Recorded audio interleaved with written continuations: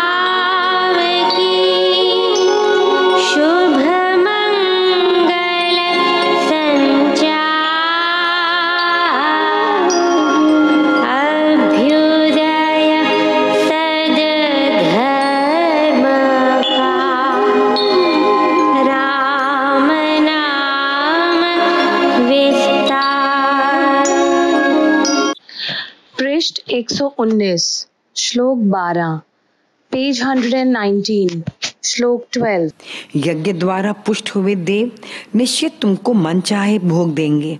उन देवों से दिए हुए पदार्थों को जो जन उनको ना देकर भोगता है, वे देवों का चोर ही है। अपने भोग्य पदार्थों का भाग दान ना देकर पदार्थों का उपभोग करना देवों की और जन समाज की चोरी है। दान देकर अन्न खाना यज्ञ का शेष देव प्रसाद का है। ऐसे यज्ञ शेष को खाने वाले संत जन सब पापों से मुक्त हो जाते हैं और जो स्वार्थी अपने लिए ही पकाते हैं, यज्ञ नहीं करते, वे पापी पाप को ही खाते हैं। पर हित कर्म को करके खान पान करना पवित्र कर्म है। स्वार्थ का जीवन निरा पाप ही है। सारा जगत परोपकार रूप यज्ञ के सूत्र में ही पिरोया हुआ है। देखिए, सब प्राणी अन्न से उत्पन्न होते हैं। खाद्य वस्तुएँ वर्षा से होती हैं। वर्षा यज्ञ से हुआ करती है। यज्ञ कर्म से होता है। कर्म वेद से उत्पन्न हुआ तू जान। वे वेद अविनाशी भगवान से प्रकट हुआ तो समझ।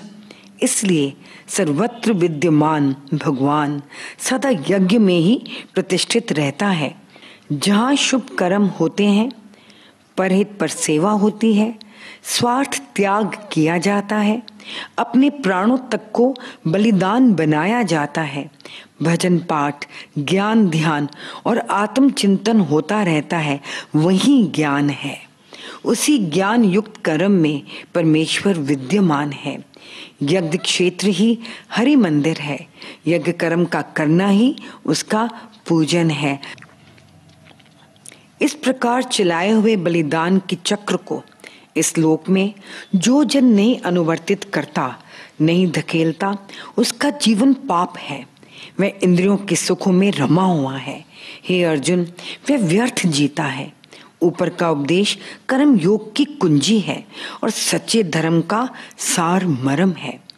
कर्म योग के उपदेश के अनंतर आत्मा में स्थिर रहने वाले की अवस्था का उपदेश देते हुए भगवान ने कहा, जो जन अपने आत्मा में ही प्रीति अथवा प्रसन्नता युक्त है, जो अपने आत्मा में ही तृप्त हो और जो अपने आत्मा में ही संतुष्ट हो, उसे कुछ करने योग्य नहीं रहता। वह केवल विश्व आत्मा के नियम का निमित्त बना हुआ उसी के सहारे से कार्य करता है। वह आत्मा से निर्लेप ही रहता है। दान, पुण्य आदि किए हुए कर्मों से, उनके फलों से इस लोक में उसका कोई प्रयोजन नहीं रहता और ना ही करने से रह गए कर्म से उसको कोई अर्थ है, कोई दोष है और ना ही सब प्राणियों में उसका कोई स्वार्थ का स्थान है। वह कर्मों के फल अफल से ऊपर, निर्दोष और अन्य जनों से निरपेक्ष होकर कर्तव्य करता है। वह भगवान के भरोसे पर सदा निर्भर होता है। इसलिए कर्म फलों में आसक्त ना होकर करने योग्य कर्म को तू भी निरंतर भली प्रकार कर, क्योंकि असक्त मनुष्य कर्म करता हुआ परमेश्वर के परम पद को प्राप्त करता है।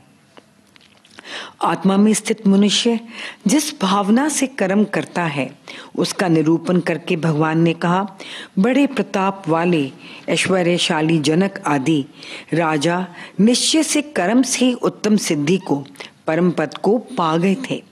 मनुष्य समाज का संग्रह, जनता का संगठन तथा भलाई देखते हुए भी तुझको कर्म करना ही चाहिए। जनक, नहुष, मानधाता आदि सभी कर्तव्य पालन से ही सिद्धि को प्राप्त कर पाए थे। तो उनसे कोई अधिक ज्ञानी नहीं है जो कर्म त्याग पर बल दे रहा है। तू भी शिष्ट परंपरा पर चलकर कर्म करता रहे। देख, जन समाज का भला भी तेरे कर्म करने में है। यदि तेरे जैसे गिने चुने, माननीय मनुष्य कर्तव्य कर्म से विमुख हो जाएँ और संन्यास के मार्ग पर चलने लगे तो कर्तव्य पालन में सर्व साधारण की रुचि ना रहे। जाति की बड़ी भारी हानि हो और समाज का बड़ा अनिष्ट हो जाए। इसलिए शिष्ट पद्धति के अनुसार तथा लोक संग्रह की दृष्टि से तुझे कर्म करना ही चाहिए। जो जो शुभ अशुभ कर्म श्रेष्ठ जन करता है। वही कर्म दूसरे लोग करने लग जाते हैं। साधारण जन तो बड़े मनुष्यों का ही अनुकरण किया करते हैं।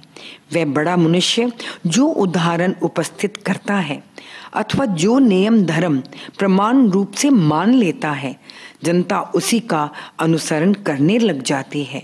जाति और धर्म के नेताओं का जीवन लोगों के लिए उदाहरण हुआ करता है।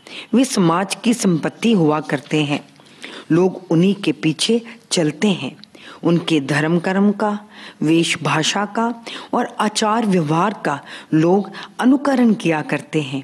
इस कारण अपने उत्तरदायित्व को समझकर श्रेष्ठ जन को कर्तव्य कर्म का ही आदर्श उपस्थित करना उचित है।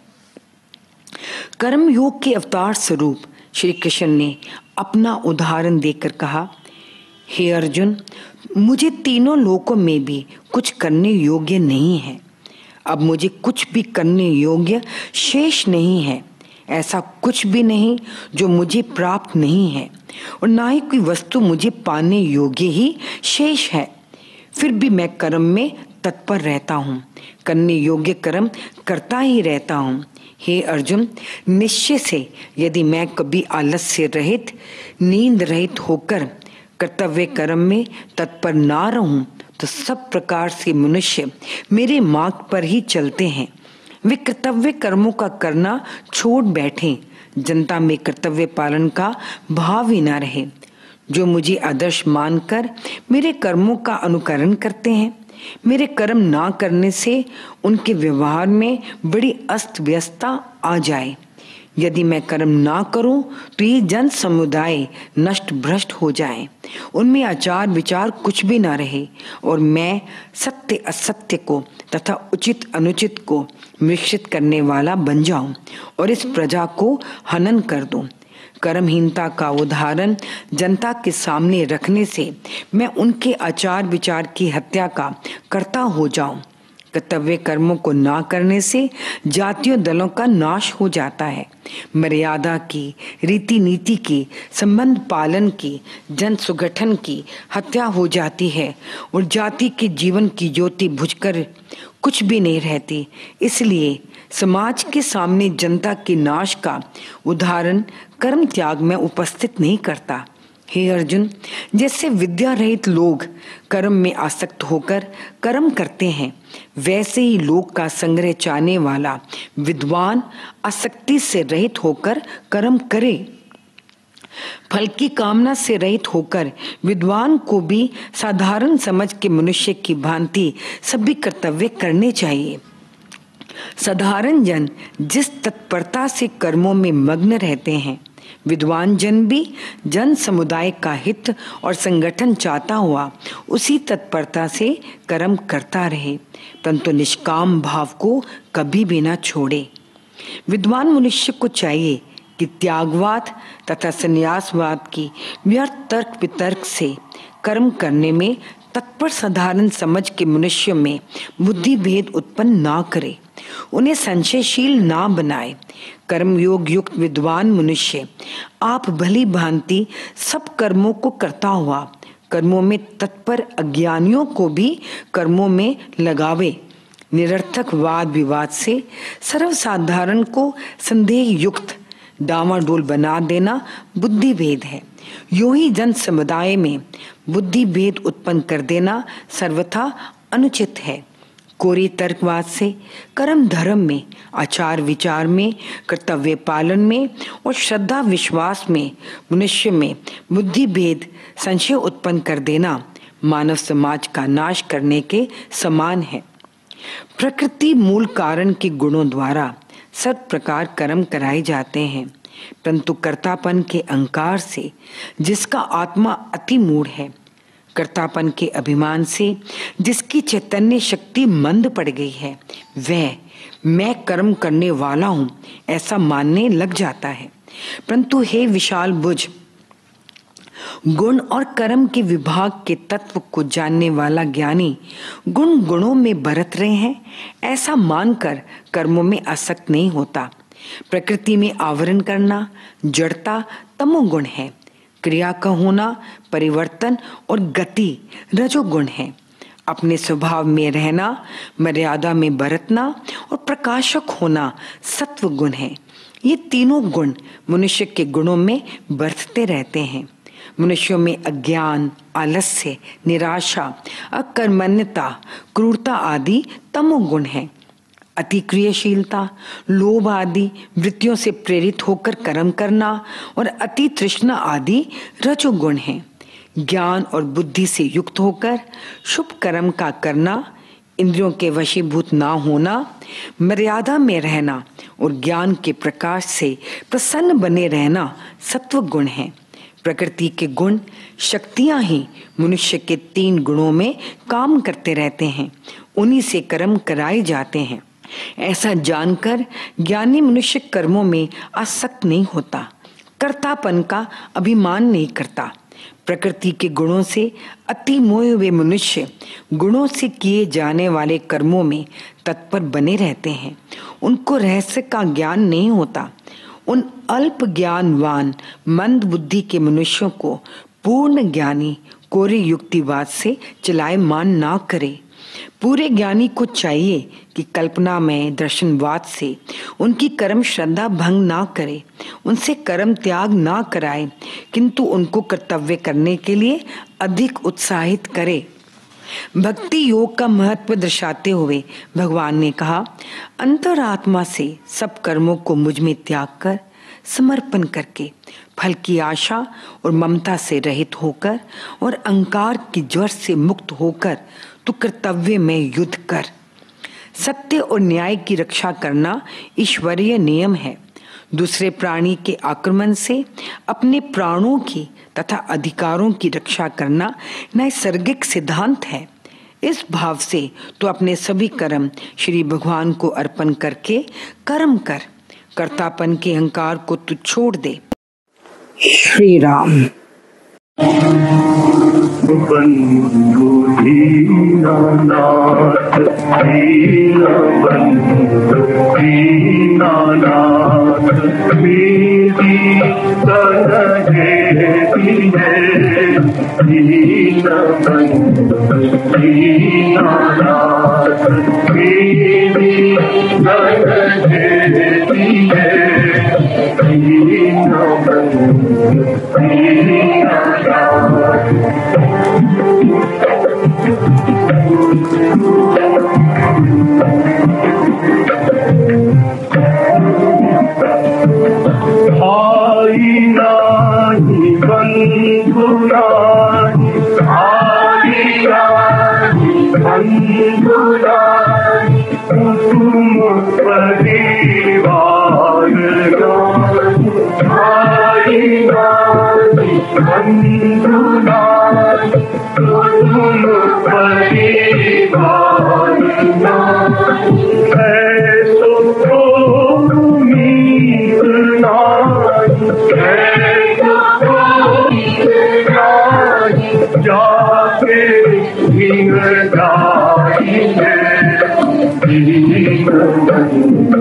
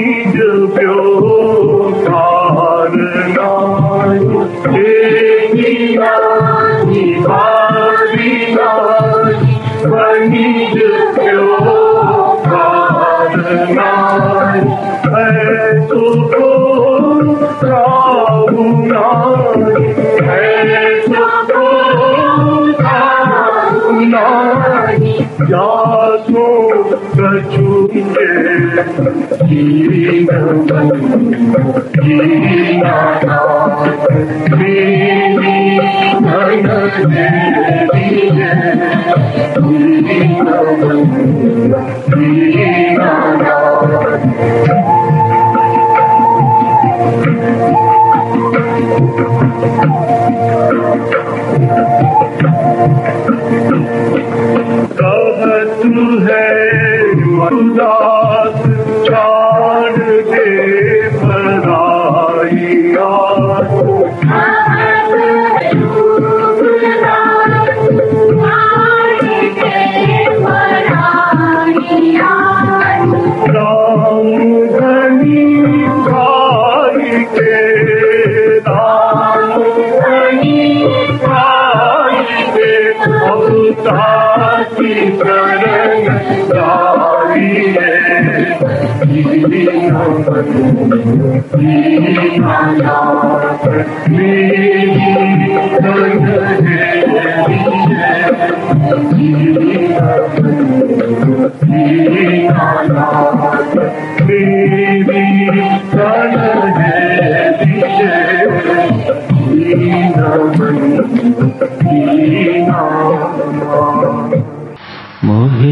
न बिसरो राम जन तेरा, मोहे न बिसरो राम मैं जन तेरा, मोहे न बिसरो राम मैं जन तेरा, मोहे न बिसरो राम मैं जन तेरा, मोहे न बिसरो राम मैं जन मोहे न बिसारो राम जन तेरा।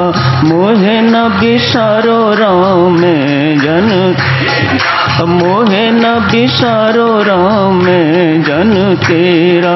मोहे न बिसारो राम जन मोहे न बिसारो राम जन तेरा।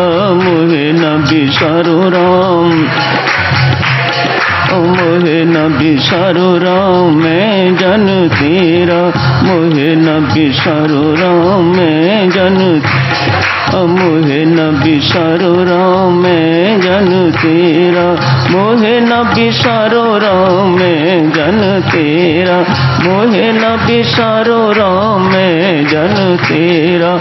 मोहे न बिसारो राम जन तेरा। मोहे न बिसारो राम जन तेरा।